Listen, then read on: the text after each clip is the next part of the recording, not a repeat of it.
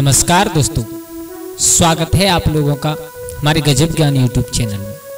कैसे हैं आप लोग? उम्मीद करता हूँ अच्छे होंगे। दोस्तों, आज मैं आप लोगों के सामने एक ऐसी कहानी प्रस्तुत करने के लिए जा रहा हूँ। ये कहानी बड़ी ही मोटिवेशनल बड़ी ही ज्ञानवर्धक कहानी है। इसे सुनने के बाद हम और आप लोगों को लगेगा कि हकीकत में स्त्रियों की चाल आज तक कोई नहीं समझ पाया। जब ब्रह्मा ही नहीं समझ पाए तो हमारी तुम्हारी तो औकात क्या है? लेकिन इसके पीछे एक बहुत बड़ा कारण है। कारण क्या है? इसके पीछे कारण ये है कि स्त्रियों की चाल तो हम लोग नहीं समझ पाते, लेकिन उनके कुछ लक्षण ऐसे हुआ करते हैं, जिन्हें देख करके हम लोग ज़रूर समझ जाते हैं कि ये स्त्री कैसी है। मेरे भैया, कुछ संकेत स्त्रियों के शरीर से आया करते हैं, जिन्हें देख करके हम लोगों को मालूम पड़ जाता है कि स्त्री स्वभाव से कैसी है, इसका भाग्य कैसा रहेगा और ये कैसा अपना जीवन यापन करेगी, इसके रहते परिवार कैसा चलेगा? हमारी एक बहुत सुंदर पुस्तक है, चाणक्य नीति। उस चाणक्य नीति में स्त्रियों के बारे में बहुत कुछ लिखा है। और उसमें यह भी लिखा है कि स्त्रियों की चाल कोई समझ नहीं सकता, लेकिन कुछ ऐसे संकेत हुआ करते हैं, जिन संकेतों संकेतों से हमें मालूम पड़ जाता है कि इनकी चाल कैसी है। तो दोस्तों, आज मैं आप लोगों को एक ऐसी ही कहानी सुनाने के लिए जा रहा हूँ, जिस कहानी के अंत में आप लोगों को सुनने के लिए मिलेगा कि अगर स्त्री में ये छह लक्षण हैं तो वो स्त्री अपने जीवन में कैसा व्यवहार करेगी? क्या कर सकती है? उसके साथ क्या दुर्घटना हो सकती है? इस सब कुछ हम लोगों को आज इस वीडियो में सुनने के लिए मिलेगा। तो मेरा सबसे निवेदन है, कृपया वीडियो को पूरा देखें। और अगर हमारे चैनल पर नए दर्शक, मेहमान बंधु बनकर के आए हैं तो प्लीज़ हमारे चैनल को सब्सक्राइब करें। और हो सके तो अपने परिवार और दोस्तों के साथ में शेयर ज़रूर करना। दोस्तों, आ जाओ आप लोगों का ज़्यादा समय बर्बाद ना करते हुए कहानी पेश करते हैं कि नदी के किनारे एक गाँव बसा हुआ था।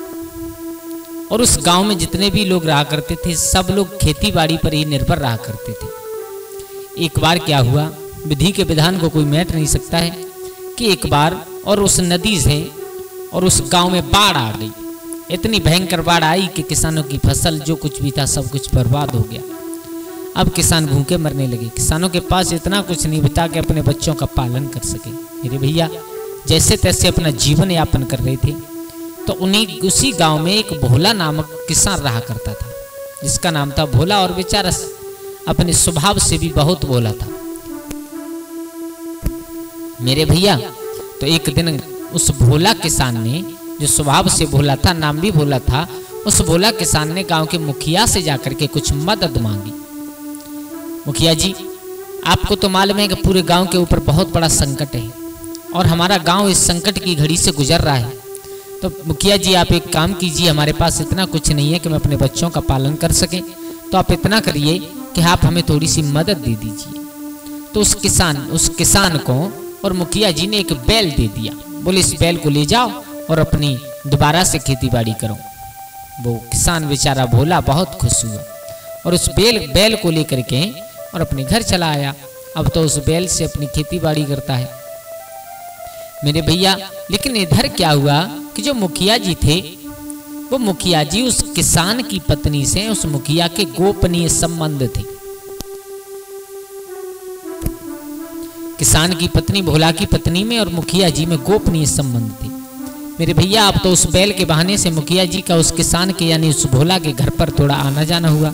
तो एक दिन भोला को शक हुई थोड़ी सी। और जब शक हुई तो भोला ने सोचा कि अब मैं शक के बिना पर तो किसी से कुछ नहीं कह सकता। इन्हें रंगे हाथ पकड़ा जाए। मेरे भैया, अब तो धीरे धीरे समय और निकला। अब तो उन मुखिया जी का ये मतलब हो गया कि रोज़ाना उसके घर पर आना जाना हो गया। अब एक दिन किसान के उस भोला के दिमाग में एक बात आई, बोले अब इनकी जाँच की जाए। तो जाँच कैसे की जाए? तो उसने अपनी पत्नी से कहा भद्रे मुझे कुछ बहुत ज़रूरी काम है। और मैं बाहर शहर में जा रहा हूँ। मेरे भैया इतना कह करके भोला घर से निकल गया, लेकिन शहर तक नहीं गया, गाँव से बाहर बैठ गया। जब संध्या का समय हुआ तो उस किसान भोला की पत्नी ने और मुखिया जी को सारा हाल बता दिया, बोले, मेरे पिया तो अब यहाँ पर नहीं है, वो चले गए। और अब तो हमारा तुम्हारा मौका बहुत अच्छा है, गोपनीय संबंध थे उन दोनों के। मेरे भैया, किसान संध्या जब रात्रि हुई तो वो मुखिया जी आए अब किसान दूर बैठ करके छुप करके देख रहा है, मेरे घर में कौन घुसेगा? मेरे भैया, मुखिया जी आए और जब मुखिया और उसकी पत्नी दोनों घर में घुस करके किवाड़ बंद करने वाले थे, गेट लगाने वाले थे, तब तक किसान आ गया। भोला आ गया। भोला ने देखा तो वो दोनों, मुखिया और किसान भोला की पत्नी ऐसा व्यवहार करने लगे, मानो एक दूसरे को जानते ना हो। लेकिन अब अब भोला कहाँ पागल बनने वाला है? भोला समझ गया सब कुछ। तो भोला ने उस मुखिया की बहुत पिटाई की। और पत्नी को भी बहुत डांटा।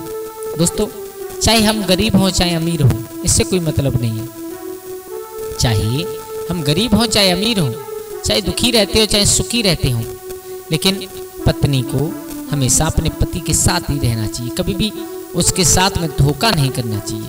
मेरे भैया, देखो चाणक्य नीति में ये कुछ ऐसे लक्षण लिखे हुए हैं। इन लक्षणों वाली स्त्रियाँ और कैसा व्यवहार करती हैं, आइए हम और आप लोगों को समझाते हैं। देखो, जिस स्त्री के दिल और जीव का संतुलन नहीं बन बन पाता है। जो स्त्री अपने दिमाग, अपने दिल और अपनी जीव का संतुलन नहीं बना पाती, वो कभी जीवन में सुखी नहीं रहा करती। क्योंकि स्त्री हमारे हमारे इस भारत देश में स्त्री को देवी स्वरूप माना जाता है। और जब देवी ही ऐसा काम करे तो फिर अंदाज़ा लगाना परिवार का क्या होगा? जो पत्नी अपने दिल और जीव का संतुलन नहीं बना पाती, जो दिल में कुछ और जीव से कुछ और कहती है, वो कभी सुखी नहीं रहा करती।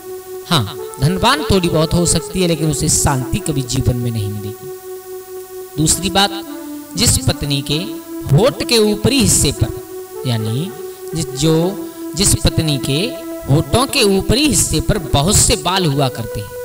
ये हमारी चाणक्य नीति का प्रमाण है, ये कोई मनगणंत कहानी नहीं है। होठ के ऊपर जिस स्त्री के ज़्यादा बाल हों, वो स्त्री पति के लिए अशुभ मानी जाती है। वो स्त्री पति के लिए अशुभ मानी जाती है और और जिस स्त्री का पेट घड़े की तरह होता है, जिस स्त्री का उदर घड़े की तरह हुआ करता है, वो जीवन भर दरिद्री का सामना करती है स्त्री। खुद तो दरिद्रता भोगती है, लेकिन उसके साथ में उसके परिवार वालों को भी दरिद्रता भोगनी पड़ती है। मेरे भैया, और जिस स्त्री के पैर का पिछला हिस्सा भारी होता है, आप लोगों ने स्त्रियों के पैर के, पैरों की तरफ़ कभी भी देखना। जिस स्त्री का, जिसे एड़ी बोलते हैं, पैर का पिछला हिस्सा भारी होता है, वो बेचारी स्त्री गरीबी से अपना जीवन यापन करती है। और जिस स्त्री के पैर का पिछला हिस्सा पतला हुआ करता है, वो स्त्री घर में लक्ष्मी स्वरूप मानी जाती है। मेरे भैया, हमारे हिंदुस्तान में, हमारे इस भारत देश में स्त्री को देवी दर्जा दिया गया है, लेकिन कभी कभी समय समय पर और स्त्रियों को बहुत प्रताड़ित किया जाता है समय समय पर। बहुत प्रताड़ित किया जाता है। पता नहीं हमारे इस देश की कोई बात समझ में नहीं आती है कि कभी तो देवी मान करके सर पर बिठाते हैं और कहीं कहीं इनका बहुत उत्पीड़न करते हैं।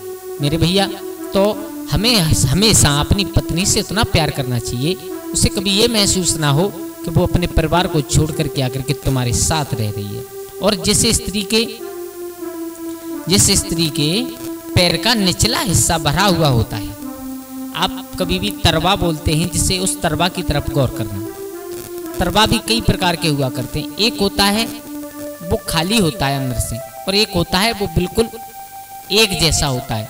तो जिस स्त्री का निचला हिस्सा पैर का भरा हुआ होता है, वो स्त्री संतान सुख नहीं भोगती है। ऐसा हमारे विद्वानों ने कहा है। मेरे भैया, ये कुछ ऐसे लक्षण हुआ करते हैं, जिन्हें देख करके, जिन अंगों को देख करके हमें ये मालूम पड़ता है कि इस स्त्री का भाग्य नसीब कैसा है, ये परिवार को कैसे चलाएगी, क्या कर सकती है? तो दोस्तों, कैसी लगी आप लोगों को हमारी ये कहानी? अगर अच्छी लगी हो तो प्लीज़ हमारे चैनल को सब्सक्राइब करें और हो सके तो अपने परिवार और दोस्तों के साथ में शेयर ज़रूर करना। आज के लिए बस इतना ही, कल फिर मिलते हैं किसी एक नई कहानी, एक नई चर्चा के साथ। तब तक के लिए सभी लोग आनंदित रहें, खुश रहें। जय श्री राधे।